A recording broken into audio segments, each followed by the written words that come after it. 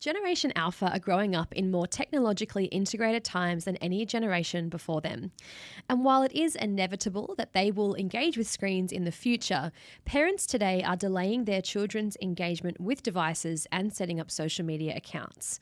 This shows the complexity of this topic, which we are going to unpack further in today's episode. And so, joining me today to do just that is our media research specialist, Anna Colthorpe, and senior researcher, Shannon Wherrett. Both of you welcome back to the podcast. Thanks for having me, Ash. Thanks. Excited to be here. It's um it's exciting because it's not either of your first time on the podcast. We've had you on in previous seasons, um, but you've both recently gone, well, not that recently, but in recent kind of years, have gone on maternity leave, had bubs, and are now back at McCrindle, which I know our wider team are just so delighted about.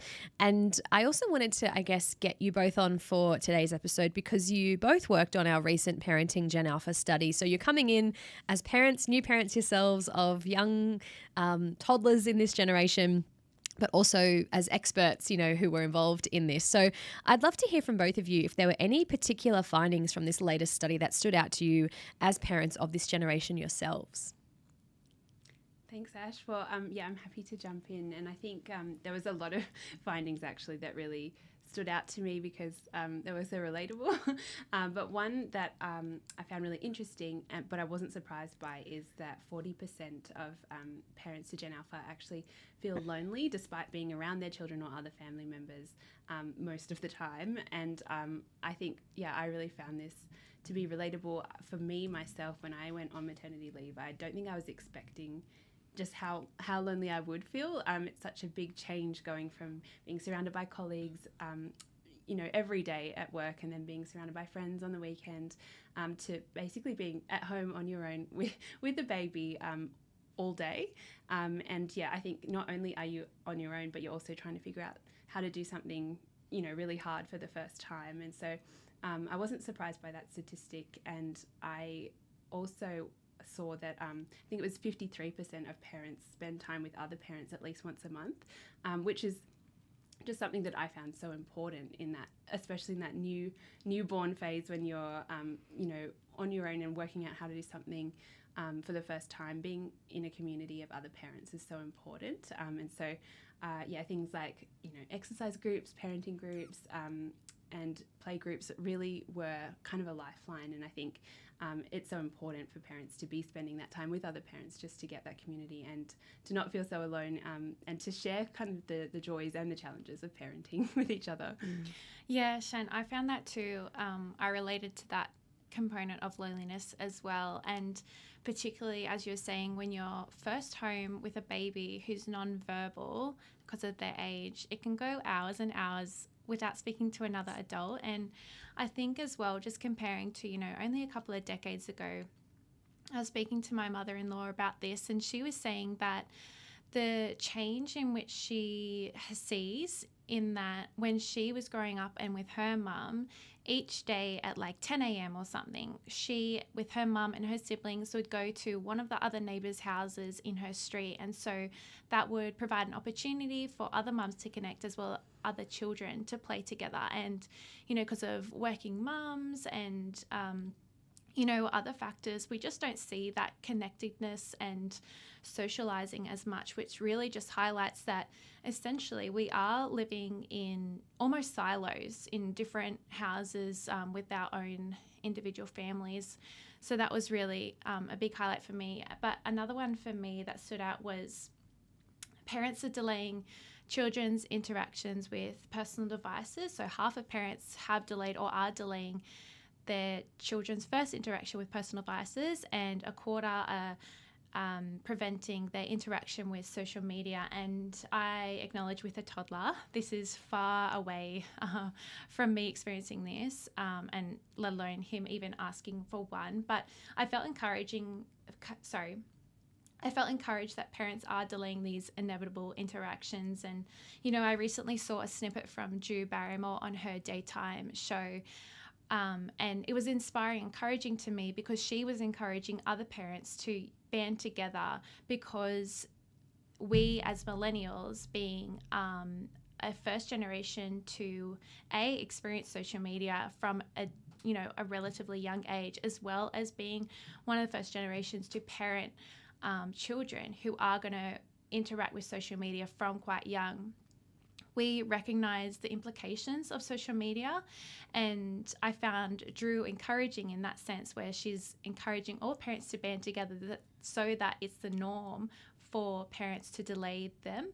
And um, I know there's a recent book that came out from Jonathan Haidt about um, the anxious generation and how he sees that as uh, because of social media and children interacting from such a young age. And I know there's a petition going out as well where it's um, urging politicians to change the social media sign up from 13 to 16. And I think this is really important because there's so much happening developmentally in the brain at that age. Um, and without the social comparison of being online and the filters that come with that and the body image, you know, skew that may happen and does happen because of social media, I think that's really important. So, from the port report, I was really encouraged that, you know, a lot of parents are recognizing this and choosing to delay this uh, interaction with social media because of it. Yeah, it's um so many really important, I think, issues that you've both touched on there that came through in the research as well. Yeah, especially around screens, but also loneliness and social isolation. And we're seeing that, I think, broadly in society. But like you mentioned, just looks different and with different factors um, in this life stage of becoming a new mother and for some societal reasons as well maybe around not knowing neighbors and and both parents working oftentimes and there's so many kind of converging factors which make for a really um, insightful discussion because you've both got the research findings at the ready, but also your own personal experience. So I'm sure many parents are appreciating that. So thank you for sharing and being vulnerable with your own um, stories. I think that's really helpful. We also looked at this study, and I think you've kind of both touched on it, even just a little bit around how parents today differ because of the unique kind of context, whether that's the social context or the technological context that they're parenting in. And we did look at that in terms of how parents today differ from previous generations, um, particularly in terms of being equipped with more information, which I've heard can be really helpful and amazing, but also a bit overwhelming at times. So I'd love to hear, um, even just around from your own perspective, from both of you, um, how you found these insights relatable or interesting, um, and how much you kind of related to that around that, where parents are going, and how much how much information is available today, you know, about parenting. Yeah, I feel like I really relate to both the feeling that um, the information out there is amazing and um, I think uh, 66% said they felt more equipped than their parents were in their when they were parenting with the information that's out there. Um, so I definitely relate to that, but I also very much relate to feeling overwhelmed by not just the amount, but the variety of information that's mm. out there. There's so many like conflicting opinions. Did mm. you find that, mm. Anne, as well? Yes, definitely. Like I was talking to my mum about it, for example, and she was saying, you know, when you're introducing a baby to solids, there was one way when she was parenting me, and that was to rice cereal. But now with the influx, and I think it's because of social media, we have so much connectedness to other people in the world, health professionals, experts, and even just other people's opinions, mm. that there are multiple ways now to um, introduce your baby to solids. And I think as well, it can increase the overwhelm, um, which I felt especially, and we were just talking before that when we had a new baby, there's more downtime, and a lot of it is spent on your phone. Yeah. And all this information just finds you, and all of a sudden you just feel this sense of overwhelm at how much information there is out there. And I think with time, you know, it does help you align your own values with mm. how you want to make decisions and um, make the best choices for your family. But um, the yeah, the overwhelm is real. Yeah, it's it's really hard, and like um, I think you said the information finds you. Mm. Um, you don't. I think it must be so different from how it used to be because you don't have to go finding this information. I was so I like I had no idea that um, about the amount of content that's out there on social media that's around parenting. Um, and I didn't go looking for it. As soon as my son was born, um, it all just, just, trickled in on my feed. You know, I started seeing lots of reels on Instagram. Um, there's TikToks all about like, um, you know, lots of them are funny and, and entertaining, and it helps you feel not alone mm. in in your experience. But there's also a lot of opinions and lots of people um, putting their opinions out there as though it's just the way to do it, um, and it can feel very overwhelming knowing which decisions are the right ones. Mm. Um, and even if you do feel like you've made the right decision for your family, if you see constantly things that are contradicting that, it can start creating a bit of doubt um, or make you question how you're parenting. So I think there's definitely pros and cons to the amount and the variety of information that's out there. Um, and I think that really probably links to why uh, most people, I think 65%, are seeking um, information from their inner circles. So they're looking to the people they trust the most just to cut through all the noise. And I've definitely found that myself. Um, you know, I've got a WhatsApp group with two other friends who had babies at similar times to me, and we just share our experiences. And I think just having that really small sort of um, group of people where we can just share, you know, three different people's experiences and yeah, people who you trust and are close to. I think that helps cut through the noise and just be, um, you know, comfortable with the decisions you've made and feel like you're you're on the right track and be encouraging to each other as well. I think that's a really important um, part of communicating about parenting is uh, that understanding that we're all in this together. All our babies are different, and um, you know, if it's working for your baby, then that is what's going to work for you. And, and there's there's not too much right and wrong. I think.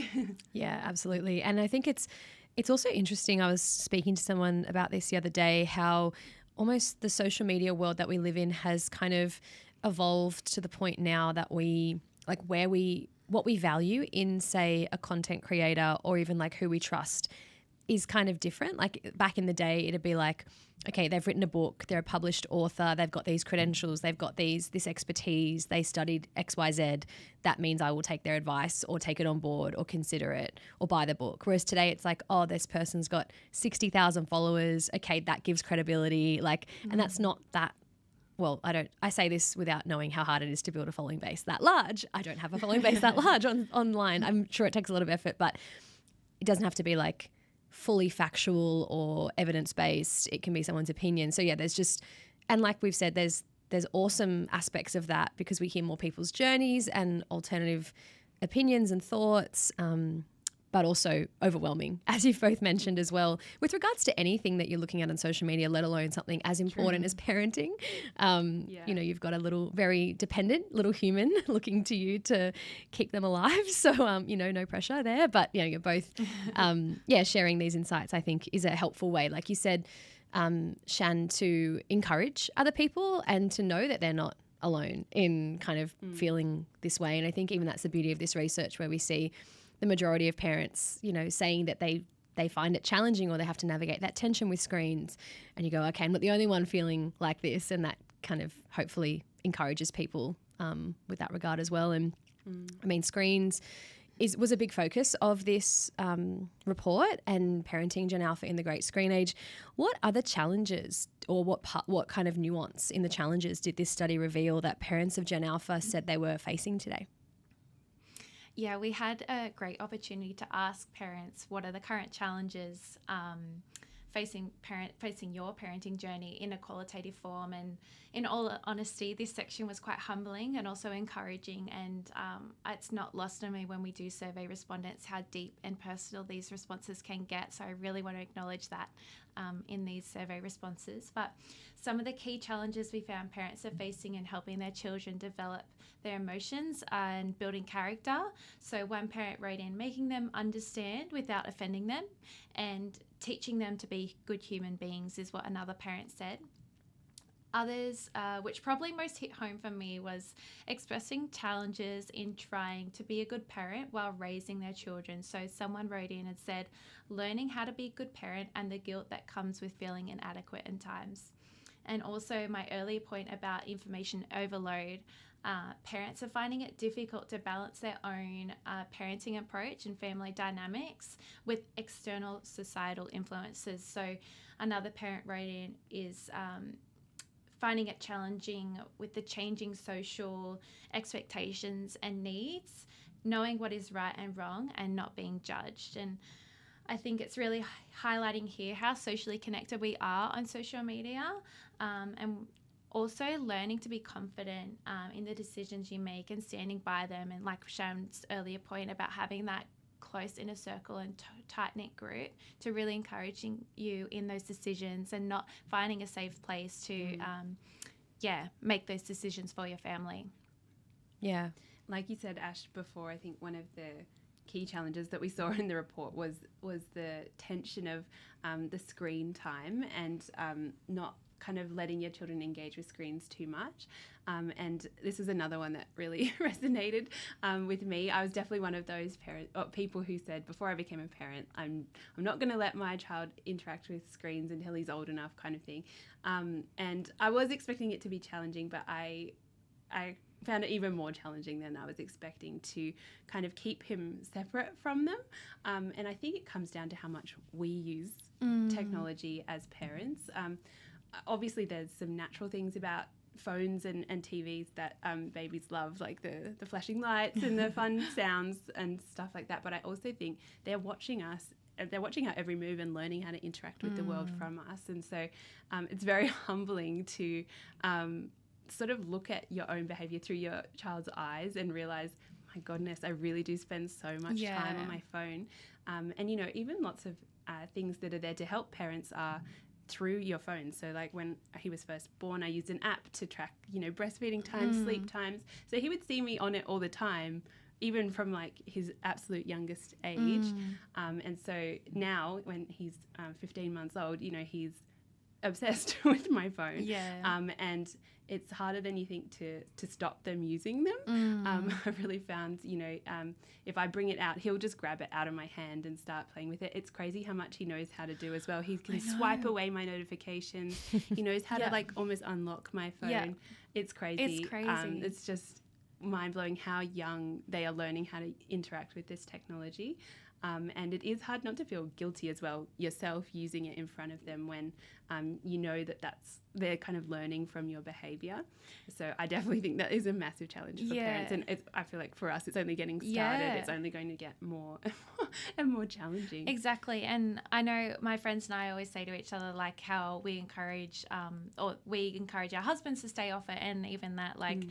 um, sometimes there's different you know expectations there. But I think it's so interesting because you don't like you can't explain to a baby that you're paying a bill. Like yeah. do you know what i mean? And you yeah. use your phone to do that sometimes. Mm-hmm. um and yeah back to your earlier point about how much how babies know. Like my son's always holding up at like we have a couple of spare cases around the house. So he's holding up the spare case like on the phone going hello hello. It's very cute. But it's like oh my gosh i've on my phone way too much in front of you. Yeah i feel like the the best thing to come out of the challenge though is probably my awareness of my mm. own use and my then intention to not use it as much, especially when um, you know me, me, my husband, and my son are together. I'm just really conscious that that's such precious time and that yeah. Um, you know, we can use our phones any other time, but at least when we're around the dinner table or whatever, we should yes. at least put them away for that moment Agree. just to enjoy that. Um, so, and I think parents are becoming more aware of the, the impacts of, of technology mm. and hopefully we'll see more and more that we're intentionally trying to create space for other things as well. Mm. Yeah, it's a it's a challenge. I think, like you've both highlighted for all of us. Even when you're an adult and you know um, the downsides of spending too much time on screens, and we've got apps to track our screen time and keep us accountable, and yet like it's a addictive in some ways, and the apps are literally created to take as much of our attention as possible. But like you've both alluded to as well, we might not even be on like a social media platform. You might be doing really productive and necessary things even for your child on the device. Mm. And I'm like, they are, like you've both mentioned, they're kind of watching whether we're aware or not and absorbing our behavior. Um, and if we can't even regulate our own use, it's a pretty tall order to expect them to when they're, like I think you mentioned, and they're like their brains are just fully developing all the time and evolving. So, mm. yeah, it's this challenge is so evident, which of course is why we put so much resource and effort into kind of making it the theme of this latest study. But we also wanted to. I guess, and, and this comes through as well from the Generation Alpha book. I think back to those days where we wanted to be realistic about the challenges that parents face and that this generation will face with rega- regards to a whole range of different things, even beyond technology and screens. But we also wanted to be hopeful and optimistic. And I remember doing a lot of um, like focus groups in the lead up to the Gen Alpha book, and a lot of people would say, "Oh, like what a terrible time to raise kids, or for this next generation." And I'm like, "Yeah, yes, we have to be aware that there are challenges, but I don't know if we're doing them any favors either by kind of imposing that like negative, pessimistic kind of view. So we did kind of investigate in this study whether parents today are optimistic about the future for their children. What did the study reveal about how parents are feeling um, with this, regards to this? Yeah, so despite all of the challenges of parenting, along with the hurdles of this generation, you know, with screen time, um, parents are hopeful for the future, which is encouraging. Yay! three quarters, three quarters of parents are hopeful about the world this generation will inherit. Uh, their engagement with technology is also having a positive influence on their households. So many children have influenced their parents to be more environmentally aware in the decisions they've made. So I imagine uh, that's more so the older Gen Alphas, so 14 and 13 this year. Um, about Generation Alpha themselves, though, they're globally globally connected, will be more educated than any generation before them. They will have leverage, influence, and a voice far more than the generations before them. And personally, I am thrilled and I'm really hopeful um, and encouraged that I'm raising uh, someone from this generation because uh, it makes me excited considering this influence and voice that they will have. Um, to see how they will change the world, um, uh, change the world that we now know. Yeah, I definitely agree with you. I also, I, I think I find it hard to um, ignore the challenges, or I think what it is is I, I find it hard to imagine what the future is going to look like. Mm. I think um, everything's changing so quickly all the time that um, you know by the time my my son's a teenager or even an adult, I just can't even picture what the world's going to look like. But I don't think that means that we can't be hopeful for the future. I think my approach is probably just to be um, I guess, to be hopeful for him so that he is ready to engage with the world in a positive way um, and to teach him to love the world, you know, mm. and to mm. um, to navigate the current challenges that we're experiencing. So I think um, choosing to be hopeful is also an important part of it. Yeah. Um, even despite the challenges, as we've said, and um, you know, being realistic about them, but also trusting your instincts and using the information that we do have available, the amazing amount of information we have to to make the best decisions we can, so that um, our children are as prepared for it as yeah. they can be, even though none of us really know what what it's all going to look like. It's so true. Like uh, you brought up a good point, Shan, because in the study we also found that uh, this generation of parents are wanting to build that mutual respect and make space to um, express their emotions and create safe boundaries. And to that point, I think I see um, a generation of parents wanting to raise those hopeful, mm. resilient children who are well equipped for the world, uh, no matter what changes come their way. Um, and so I was encouraged, like the other cohort of parents around me, that we're raising hopefully emotionally resilient, hopeful children. Yeah. Yeah. And I think I love that word resilient um, that we just talked about. Because I think, yeah, being too hopeful doesn't enable resilience, but being too pessimistic doesn't either. So, of course, like a balance yeah. of being realistic, but also, yeah, helping them see the world and engage with it where they're at um, is really important. So, yeah, love this chat today, um, ladies. It's been so helpful um, because you're both new mums to kind of hear your reflections on the research and to have you be involved in crafting the study and the methodology and the analysis, but also to hear your own reflections on how the data came out has been really great. Um, I wanted to also just dovetail into one other kind of study we are in the process of releasing, uh, which is our baby names report. It's one of our most widely accessed reports. We don't even kind of um, gather the data, so to speak, all the different births, deaths, and marriages, or the equivalents of the different states and territories, gather that data, um, and it's publicly available. We just collate it and kind of uh, put the top 100 national lists together, and then kind of analyze trends.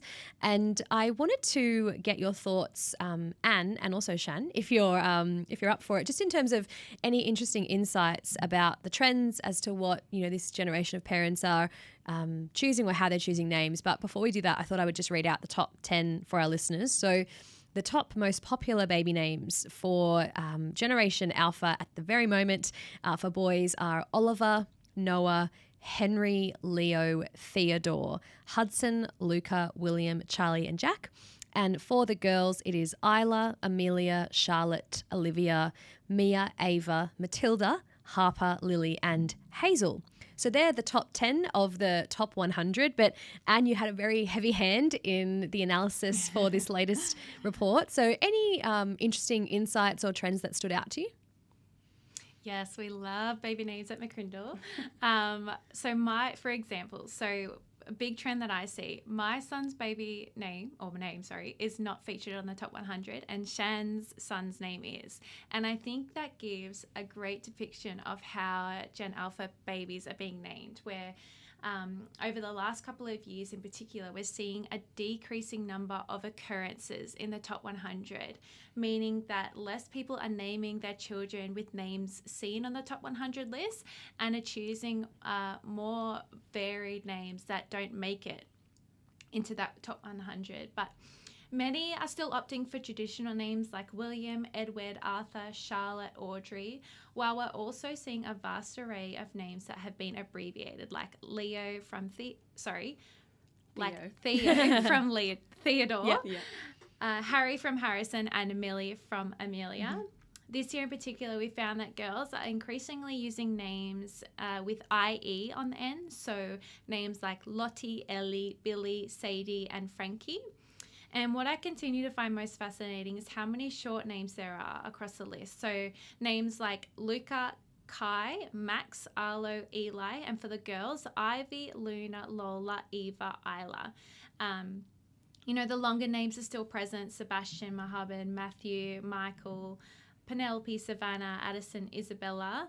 Um, but what's uh, most interesting is that Gen Alpha are using such a varied mix of short names, long names, names not seen on the list, names that are on the list, lots of vowels, um, and lots of, you know, shortened syllables names as well.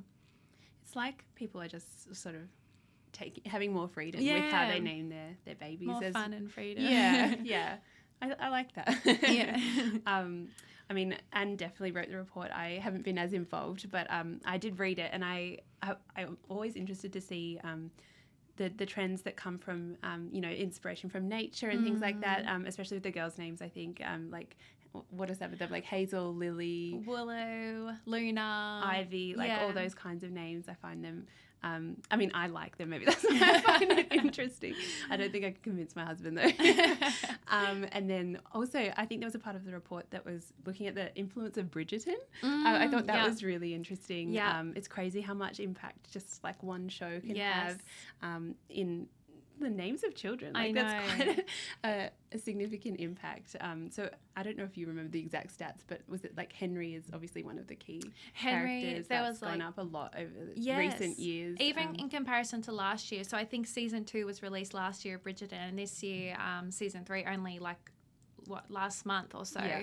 Um, and even the comparison between this year and last year, it's still gone up again. So names like Eloise, Penelope, Yeah. um, just from the top of my head, Henry. Yeah. yeah. Yeah. it's crazy how much influence it can have. It's yeah, it's it's great. It's a great, really interesting report. I think it reveals a lot about like human behavior and decision making, um, but also generations. And I loved the bit in the report as well, um, and which kind of looked at the popular names across the decades. And it was cool because I feel like a lot of people will read that and go, "I feel so seen." Like my name was popular in the decade that I was born. Like I think all three of us were born in the '90s, and it was interesting to see. I saw Shannon um, on that list of popular baby I names. was surprised to Yeah. think that actually.